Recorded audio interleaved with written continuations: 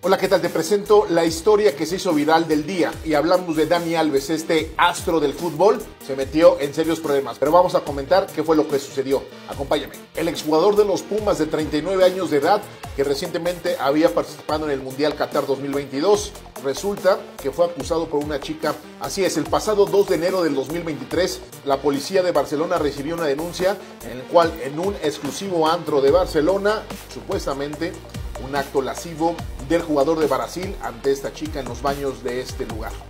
Lo cual Dani Alves se presentó de manera voluntaria a ese citatorio para ver qué pasaba, para decir yo no la conozco, yo no tengo nada que ver, a mí no me estén molestando y resulta que por tener contradicciones en su declaración, una juez dijo te quedas aprendido y lo dejó guardadito. Lo que sí hay que mencionar y es importante, hay una diferencia abismal entre ser acusado o culpable. Ojo, aplaudieron a la directiva del Club Pumas por tomar esta decisión tan drástica y severa. Entre que son peras o manzanas, dijeron, hasta aquí cortamos relación con este astro del fútbol.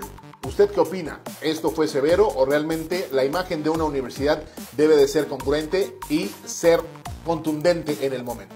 Mencionar también es que tenemos que esperar a que se desarrolle el juicio y el proceso para no tomar una postura en contra de este deportista, ya que hasta que no se demuestre lo contrario, pues todo está en un supuesto dicho. Hay que esperar. Lo contradictorio un poco fue que en la policía él dijo que sí había estado en esta discoteca, pero que no había visto nunca a esta chica, no la conocía, no se acordaba de ella, ni siquiera sabía de qué le estaban hablando.